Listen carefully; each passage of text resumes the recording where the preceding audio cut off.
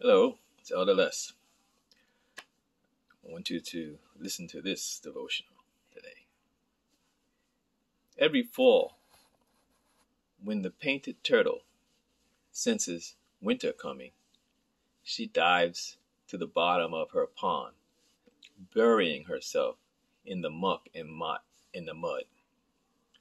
She pulls into her shell and goes still. Her heart rate slows, almost stopping. Her body temperature drops, staying just above freezing. She stops breathing and she waits.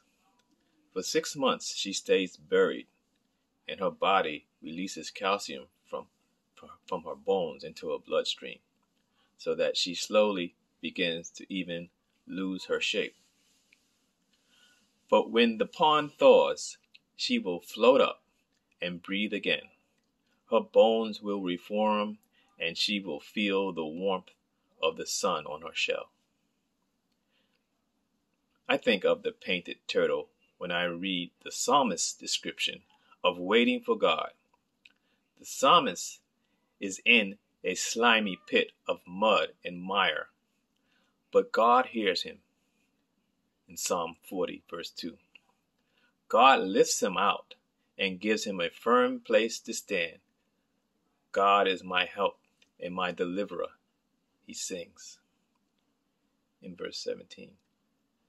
Perhaps it feels like you've been waiting forever for something to change, for a new direction in your career, for a relationship to be restored, for the willpower to break a bad habit, or for deliverance from a difficult situation. The painted turtle and the psalmist are here to remind us to trust in God.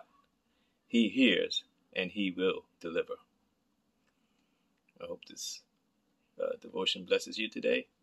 And uh, just remember, God is always with you, and He's no matter what it looks like, uh, He's He's working it out for our good if we believe and we trust in Him.